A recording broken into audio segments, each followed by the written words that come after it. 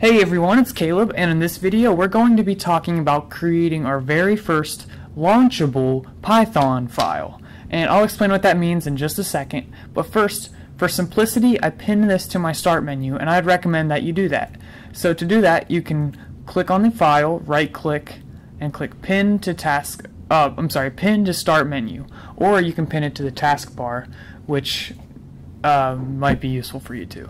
But either way, I did that. Now let me just get that out of the way for because we don't need that anymore. Alright, so here is our idle, our graphical user interface. We can put our code in here. And then we press enter to execute that right in right that moment. And we can do things like create hello worlds and we can make if statements and so forth. We can make an if Sorry, I'm kind of bad at typing.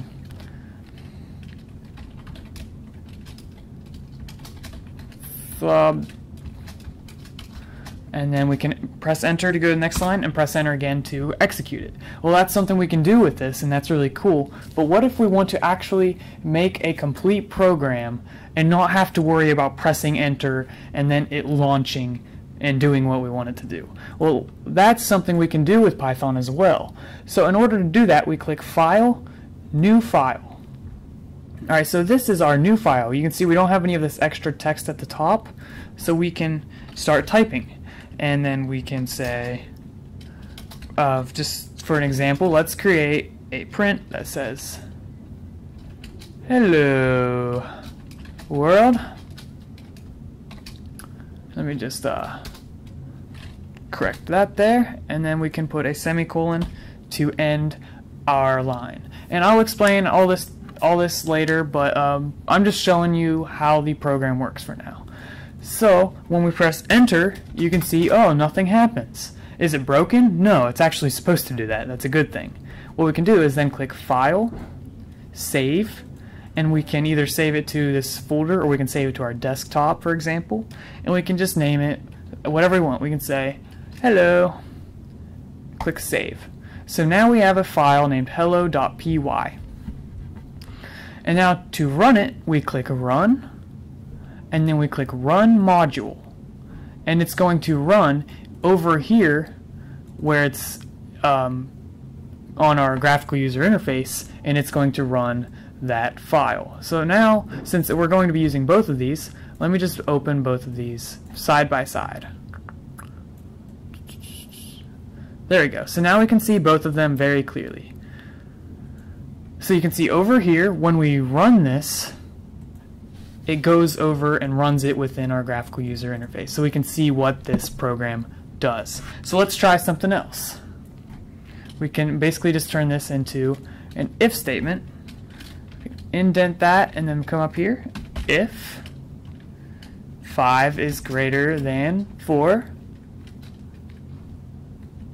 colon, and then we can save it by pressing File, Save, or just clicking Control S, which is what you will want to get used to. That's what I'll be doing throughout these videos, so I don't have to keep clicking that.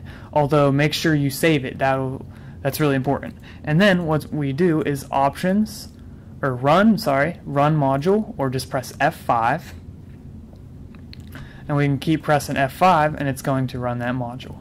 Now let's try changing this. If 3 is greater than 4. And see if you launch it without saving it, it has to, it says it has to be saved. So click OK to save it, and then it runs, and you can see nothing happened. That's because 3 is not greater to 4. So when we keep trying to run this, oops, sorry I'm going too fast. Oh my goodness.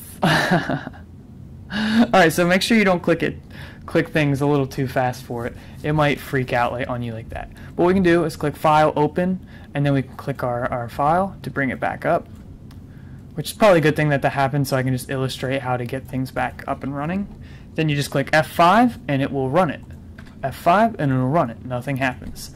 But you can see now we can make complex scripts all in one file and then run the entire script at one time. Now, you may be wondering, what is this file? How can I open it? Well, let's, let's try that out right now. What we're going to do is we're going to open the file location of our Python, oops, sorry, wrong, of our Python folder, so Python 34, and then we have test, uh, I'm sorry, hello.py. I created that one earlier when I was messing around. When we double click it, we have this little black box pop up, and then it disappears. And you're probably wondering like, oh, well, what's the purpose of that? Well, you can see it's not very useful right now. That's because we haven't figured out how to keep that system open so where it doesn't disappear.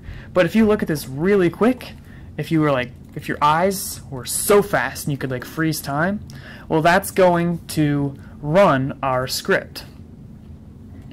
Here, I'll make it more easy to see. So if I make it 7 greater than 4, and just so we can see what's going on here, put like 50 lines of that, save it, and then we run this file, you can see a, a flash of what our, our um, program does. You might not be able to see it too well on YouTube, but I can see it clearly. So that that's a problem we're going to have to learn how to fix in upcoming videos. But as for now, all of our scripts can be ran within our graphical user interface, or idle. So that will work out perfectly fine. So we don't have to worry about running the actual programs from the file. Alright, so that is the end of this video. Thank you for watching. Hopefully that was helpful. And in the next video, we'll really start getting into beginner programming techniques and concepts. So uh, be sure to subscribe, and I will see you in the next video. Well, technically I won't see you, but you know what I mean. Alright, peace.